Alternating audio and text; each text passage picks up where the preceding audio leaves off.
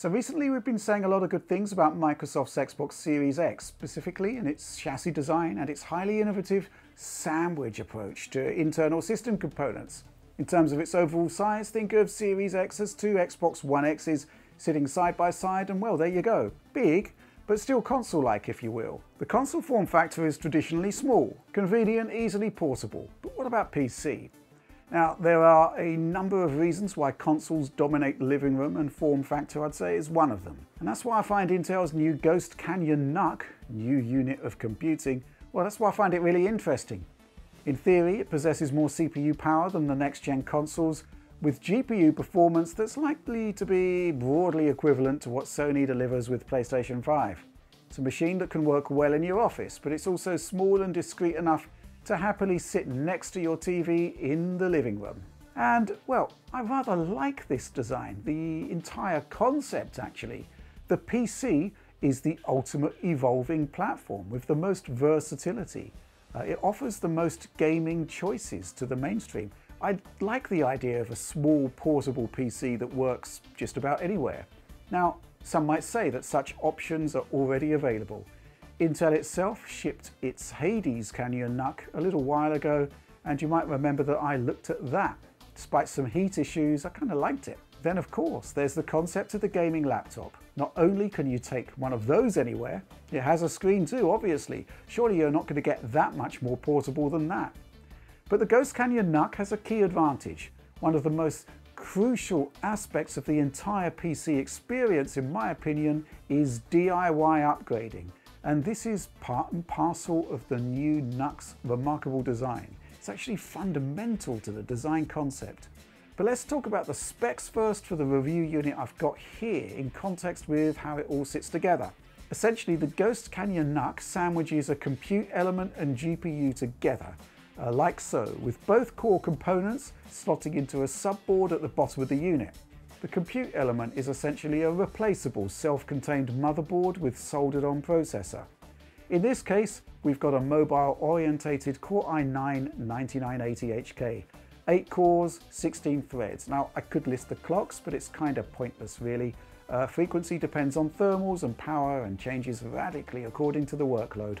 I noticed around a minimum of 3.0 GHz for heavy multi-core workloads and anything up to 4.3, 4.4 GHz in gaming. The compute element is basically a motherboard, as I said, enclosed in this chassis here. Uh, it also includes memory slots, therefore, and a couple of NVMe M2 slots. The CPU isn't visible here, uh, but it's under that copper heatsink, soldered to the board. Next to the compute element is the GPU. This is a mini version of the RTX 2070 and it's provided by ASUS. This card isn't the best of the best. It's not RTX 2080 Ti, obviously. Still pretty good though. Think uh, GTX 1080 levels of performance, sometimes a fair bit higher, but with all of the latest ray tracing and DX12 ultimate features. ASUS produced a small form factor version of this card and as we shall discover, it's kind of curious in performance terms, but small it certainly is. Here's a quick look at some CPU benchmarks. According to Cinebench R20, the 8-core 16-thread 9980HK has 92% of the Core i9 9900K's stock single-thread power, but only 68% of its full multi-threaded output. I'm using the 9900K here as a comparison point as it's essentially the same silicon, but being a desktop chip, it has a much higher power budget. In multi-core performance, the 9980HK has around 93% of the Core i7 9700K's power. The i7 substitutes threads for raw clocks. So that's pretty good, but it's video encoding that is the real test. And let me explain why. Prolonged saturation of the cores causes more thermal challenges. And if you were to test the 9980HK in a laptop, it would suffer pretty badly by comparison. But here, it seems that the NUC is keeping the chip adequately cooled. On H.264, you get 67% of the 9900K's performance, and even in the more challenging, demanding HEVC encoding, pretty much the same. The results against AMD's mobile-orientated Ryzen 7 4800H might give Intel some pause though, they are rather close, and remember that result was taken from a thermally constricted notebook. Overall, in the Ghost Canyon NUC, the benches suggest a chip that sits somewhere between Core i5 9600K and Core i7 9700K, but skewed much closer to the i7 results. I'm going to talk about gaming performance with CPU and GPU in a moment. But first of all, a quick word about thermals, power draw, noise. The fans can spin up unexpectedly, even when faced with the simplest of tasks, which is kind of strange. But um, under consistent load, uh, noise level from the NUC, I'd say it's noticeable but not off-putting. It's not quite as discreet as an Xbox One X, but I'd say it's on par or better than PS4 Pro if you want that kind of console comparison point. Draws around 270 watts from the wall during gaming with CPU temperatures in the 80s and GPU in the 60s. There's nothing stopping you having the NUC resting horizontally or vertically, but I've got to say that laying it on its side as I did to uh, sort of demonstrate the machine as a desktop unit here. Very definitely a mistake. As you'll see on screen there, the GPU creeps into the 80s and hits the thermal limit, impacting performance. So yeah, forget about flexibility in this respect. Ignore my laboured attempts to depict a real-life desktop scenario here. Keep the NUC vertical. Okay then, next job. Let's talk about gaming performance from the RTX 2070 here. It's been a while since I tested the standard desktop model, but tapping into legacy data on legacy games, well, those are unlikely to have seen any kind of driver update in the meantime. And what we get, therefore, is something quite curious. Yes, this is a full-fat RTX 2070 in silicon terms, but performance output is definitely lower, now it may well be that the clocks are a touch lower. They do seem a bit lower than I recall, but I don't think that's actually the reason for the variance in frame rates. Maybe it's the curious interconnectivity between CPU and GPU lowering bandwidth. I'm not sure, but the numbers are checked and double checked. So let's dig in a bit more deeply.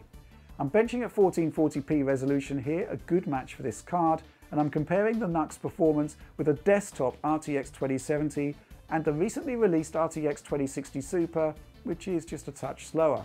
As a bonus here, I overclocked the NUC's GPU with plus 150 MHz to the core, plus 500 MHz to the G6 RAM. Yes, obviously, we are using different CPUs for testing here, but at 1440p, we're very definitely GPU limited in all of these titles. Legacy games obviously means Crysis 3. It always does. All paths lead to Crysis 3 at some point in one of my tech reviews. You'll see that the overall grouping of performance across all four data points here is pretty close, but regardless, the reference 2070 has an 8% lead over the NUC, a advantage that drops to just 1% with the overclock in place.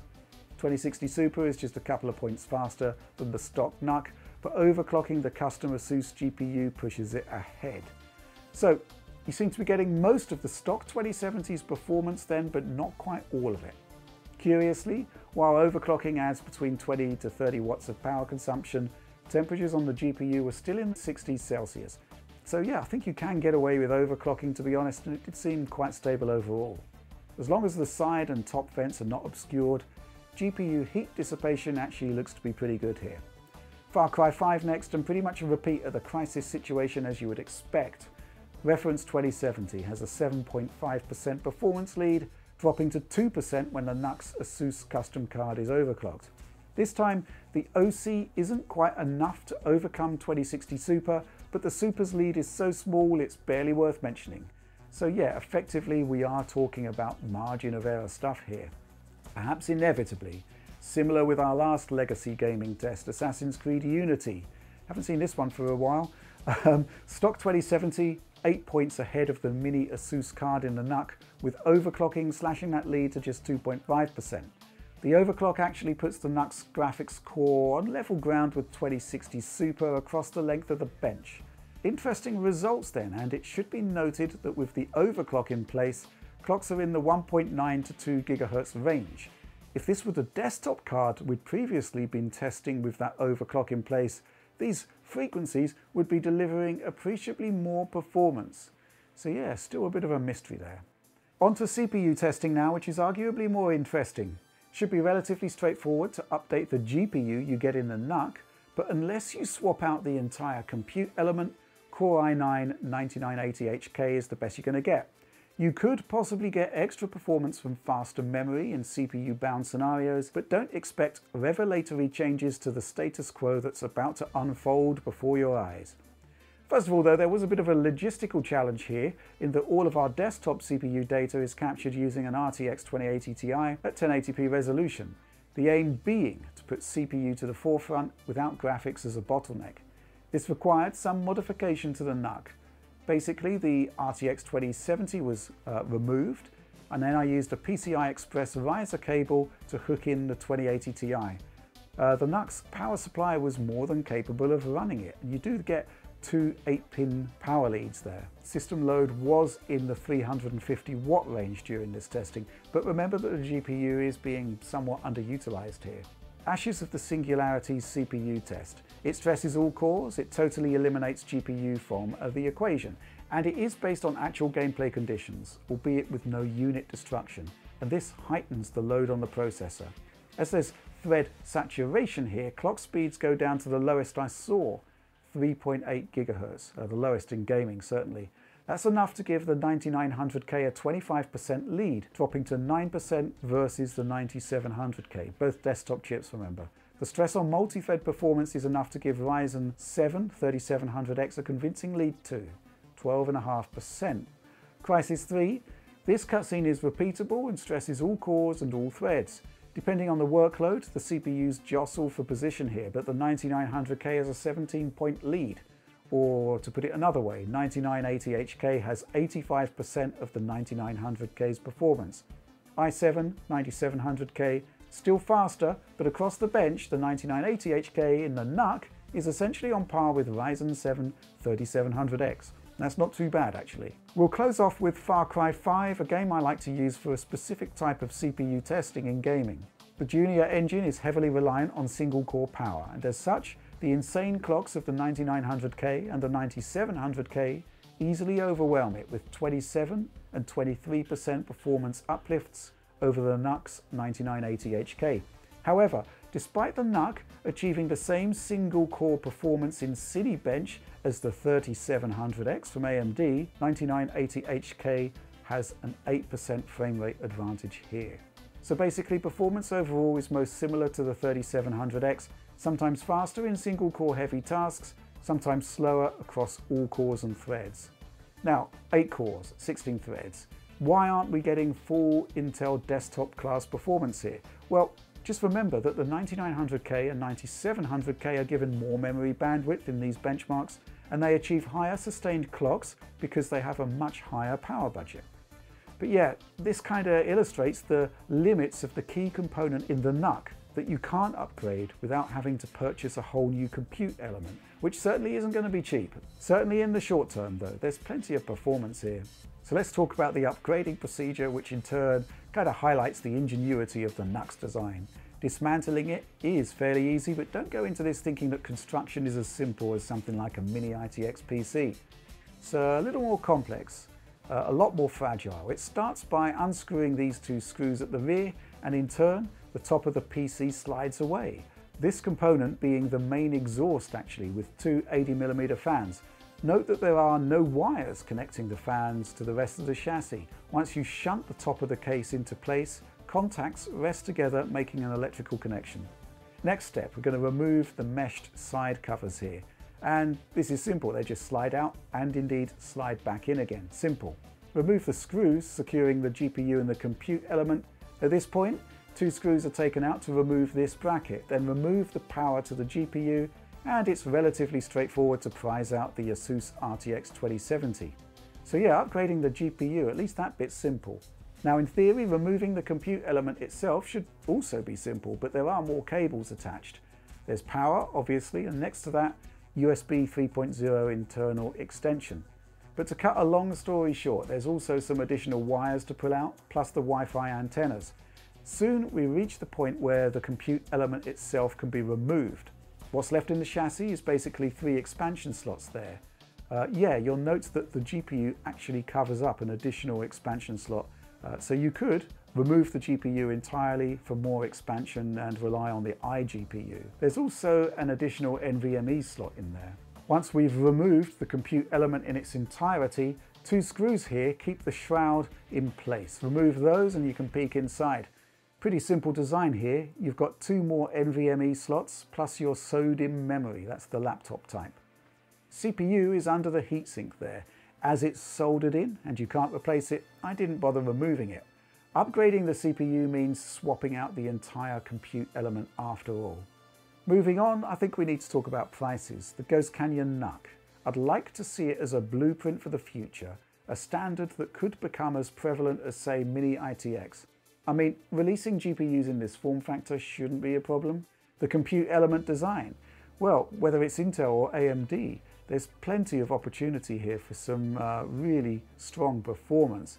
Uh, standards, that's what we need here. Standards drop prices. And this is very much a niche design with a very high price point in the here and now. Intel seems to realize that too, hence some interesting packaging to kind of justify the price premium. So yeah, the machine comes in a flight case with a shoulder strap for easy portability. Hardly essential, but certainly cute. There's even a blacklight torch for highlighting the skull motif there. Perhaps not so cute, but faintly amusing nonetheless. So I'm hopeful that this form factor could potentially catch on, especially when the likes of Razer and Corsair are producing their own chassis variants that are large enough to run an RTX 2080 Ti. But despite cheaper i7 and i5 compute elements being available, bang for the buck in terms of pricing versus sizing still has to go to the Mini ITX form factor. Now that is going to be a bigger machine, considerably so with many chassis, but you can still build living room friendly designs. You have your choice of components and no limit on CPUs, uh, water cooling or whatever. Thing is though, I really like what the Ghost Canyon NUC is doing here.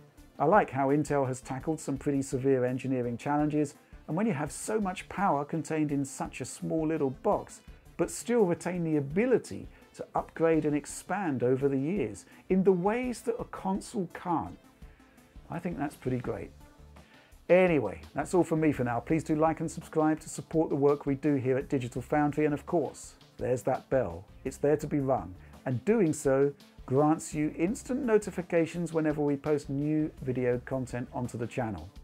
The Digital Foundry Patreon, that's there for those who love what we do and want to support the team more directly, and in return you'll get pristine quality video downloads of everything we do. But that's all from me for now. Thanks for making it all the way to the end of this one, and just generally, thanks for watching and supporting Digital Foundry.